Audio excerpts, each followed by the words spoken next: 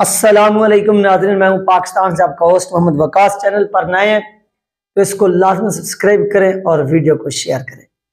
तो चलते हैं, बिना टाइम को वेस्ट किए अपने टॉपिक की तरफ़। तो आज नाजरीन दो तीन बातें उस पर बात करेंगे। सबसे पहले साहब की जो मुलाकात हुई है, ये टॉपिक होगा। और नईम चट्टा साहब के हवाले से कुछ बातें सामने हैं, वो भी शेयर करेंगे। और इसके साथ साथ मज़ीद भी। कुछ बातें मौजूदा सियासत के हवाले से, वो भी तमाम चीज़ें आपके साथ शेयर की जाएँगी। तो चलते हैं, बिना टाइम को वेस्ट किए अपने टॉपिक की तरफ़। तो अलामा साद सर साहब की जो मुलाकात हुई, नाजरीन, आज बहुत बड़ी मुलाकात हुई। पीर अब्दुल खालिक साहब जो थे, वो इस दुनिया से चले गए थे, अल्लाह पाक उनकी मगरत फरमाए।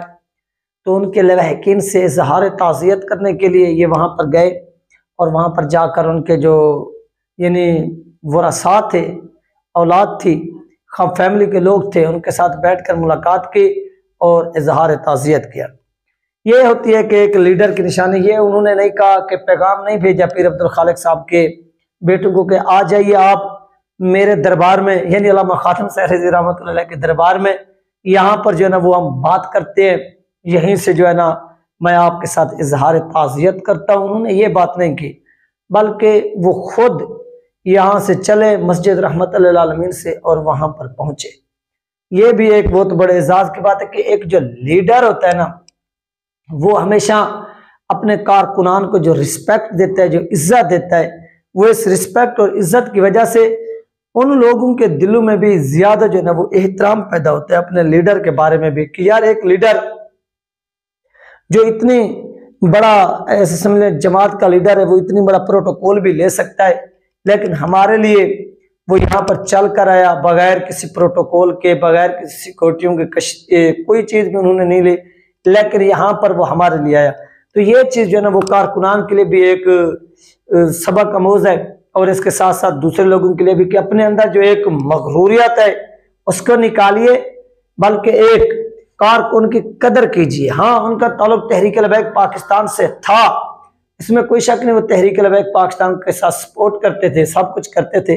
लेकिन यहाँ से भी फिर लीडर ने वफा की और वहाँ पर पहुँचे और जाकर फिर उनकी जो कबर थी, वहाँ पर बैठकर फातिहा खाने की। ऐसा नहीं है कि वहाँ पर गए हो और दो चार मिनट खड़े हो और खड़े होकर वहाँ पर ऐसे सलूट किया उनके घर वालों को और फिर बहादरी लगवाते वापस, जिस तरह से बड़े बड़े लोगों का आजकल का ये कारनामा है कि दो मिनट गया ताजियत करने के लिए वहाँ पर दो मिनट बैठे और बैठने के बाद वापस लौट आए।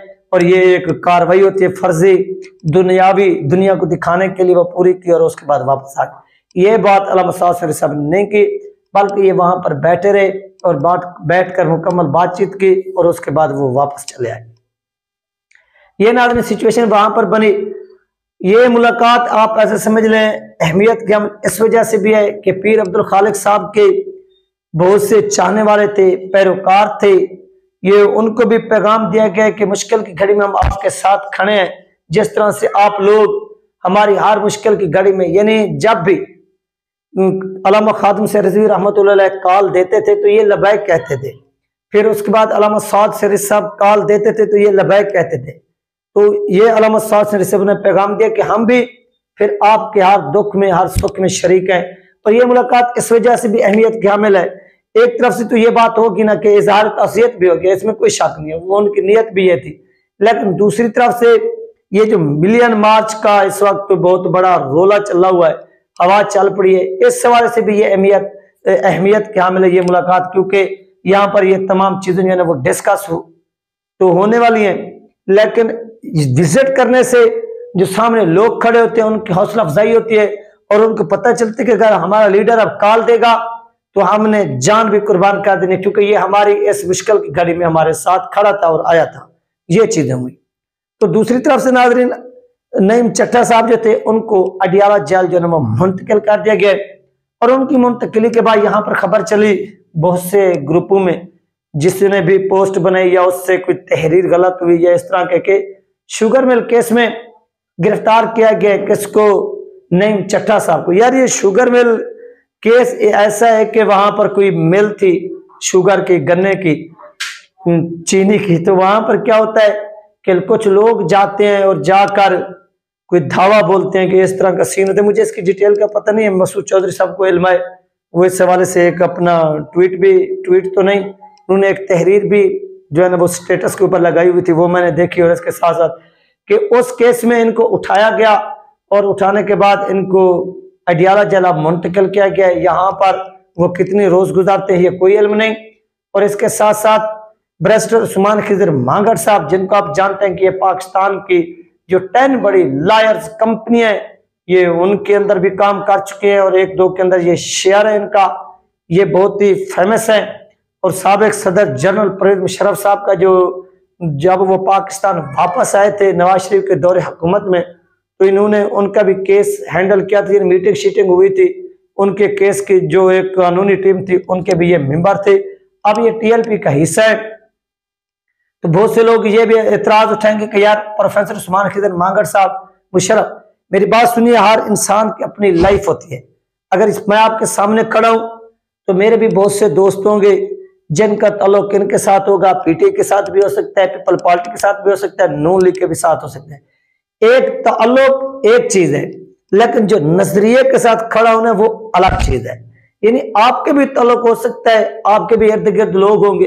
वो एक अलग चीज़ है, एक लाइफ का जो सिस्टम है, जो साइकिल है, जो चल रहा है, वो आपको मालूम है कि हर इंसान के साथ माशरे के अंदर जो है ना, वो वास्ता पड़ता है। तलुकात भी अच्छे खासे होते हैं, काफ़ी लोग दोस्त होते हैं। और इस वजह से दूसरा नज़रिया एक अलग चीज़ है। जो नज़रिया है, वो नज़रिया है। और जो यारी दोस्ती है, वो यारी दोस्ती है। और जिसके साथ तल्लुकात होते हैं, वो तल्लुकात होते हैं। ये तमाम चीज़ें चलती रही।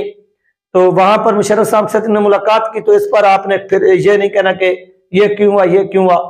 तो नईम चटर साहब ने ऐलान किया कि वो अब इनका जो केस वो हैंडल करेंगे, देखेंगे। मुकम्मल तौर पर जुम्मा के रोज पर उन्होंने कहा कि इसके अब जो है ना, वो समात होनी है। कोर्ट के अंदर, लाहौर हाई कोर्ट के अंदर।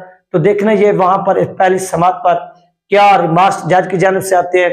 या अदालत जो है ना, वो कोई रिलीफ देती है या नहीं देती? कितने दिन का जो इनके ऊपर रिमांड मांगते हैं, मिला जाता है, नहीं मिला जाता, ये तमाम चीज़ें जुमा के रोज़े पता चलेंगी। लेकिन वो जैसे ही ऐलान करते हैं तो एक पोस्ट बनाई जाती है और उस पोस्ट को पूरे पाकिस्तान में वायरल किया जाता है कि नईम चट्टा साहब को भी गिरफ़्तार किया गया और इसके साथ साथ इसी केस में अब ब्रेस्ट उस्मान खिजर मांगड़ साहब का भी गिरफ़्तार कर लिया गया। तो इसकी वजाहत के लिए फिर ब्रेस्ट उस्मान खिजर मांगड़ साहब का एक ट्वीट आता है और वो लोगों को बताते हैं कि यार, मैं बिल्कुल ठीक हूँ, मैं गिरफ़्तार भी नहीं हूँ, मेरे हवाले से जो पोस्ट बनाई गई है, शेयर की गई है, ये बिल्कुल फेक शेयर की गई है, गलत है, मैं बिल्कुल ठीक हूँ और मैं इस केस को देख रहा हूँ। ये वो तमाम जो सिचुएशन थी, ये बनी हुई है। अब देखना यह कि नेक्स्ट इसके ऊपर क्या स्टेप लिया जाता है? क्योंकि तहरीक लबैक पाकिस्तान के मरकज के भी इस केस के ऊपर नज़रें हैं। क्योंकि नईम चट्टा साहब के साथ जो कुछ हो रहा है अडियाला जेल के अंदर, जब वो रिलीज़ होकर आएँगे तो आप लोग को बताएँगे कि अडियाला जेल के अंदर क्या क्या होता है। ये वो अडियाला जेल है, जहाँ पर साद साहब भी रही और इसके साथ साथ नाजरीन, तहरीक लबैक पाकिस्तान के बानी और अमीर अलमा खादम सर रिजवी भी रहे।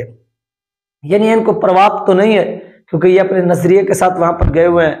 अब देखना यह कि वहाँ पर कानूनी टीम किस तरह से इन मामला को देखती है, क्या जो दूसरों को रियायात दी जाती हैं, इन सहूलियात, क्या वो भी टीएलपी के लोगों को मिलती हैं या नहीं, ये भी तमाम चीज़ें जुमा तक वाजे हो जाएँगे, क्या उनके ऊपर टार्चर हुआ है तशद वगैरह, ये भी तमाम चीज़ें सामने आ जाएँगी। सिर्फ़ और सिर्फ़ चंद दिनों के अंदर ये आप देख सकेंगे, मुलायदा फरमा सकेंगे। और मैं कोशिश करूँगा ब्रेस्टर साहब से इस हवाले से कोई तफसीली गुफ्तु कोई उनके से पूछा जा सके सार के कौन कौन सी जो है वो एफ़ आई आर दफात लगाई गई हैं। थोड़ा शेयर करें, कोई इंटरव्यू वगैरह अगर हो सकता है तो मैं उनका लूँगा, अगर वो टाइम देते हैं इन वो भी मैं आपके साथ शेयर करूँगा, अगर उनसे टाइम मिल गया। तो ये ना छोटी छोटी चीज़ें थी जो आप लोगों के साथ शेयर की गई दो तीन दूसरी तरफ़ से एक विलाद बना रहे थे, ब्रेस्टर अपना, सॉरी, मसूद चौधरी साहब वो भी आएगा, उसको मैंने शेयर करना है। तो यार, उसको आप लोगों ने लाजमी देखना है और उनके चैनल को भी सब्सक्राइब करना है, क्योंकि इस वक्त मसूद चौधरी साहब बलोचिस्तान के अंदर मौजूद हैं और जो हब मस्तोंग के अंदर धमाका हुआ, वो इसके ऊपर रिपोर्टिंग कर रहे हैं और एक इंटरव्यू लिया उन्होंने एक बुज़ुर्ग का, जो उस हादसे के अंदर ज़िंदा बच गए। वो भी तमाम चीज़ें आप देख सकेंगे। लिहाजा वो जैसे वीडियो आती है इंशाल्लाह मैं आपके साथ शेयर करूँगा। अपना ख्याल रखिए अगर मुझे दो में याद रखिएगा, मिलते हैं नेक्स्ट वीडियो में। अल्लाह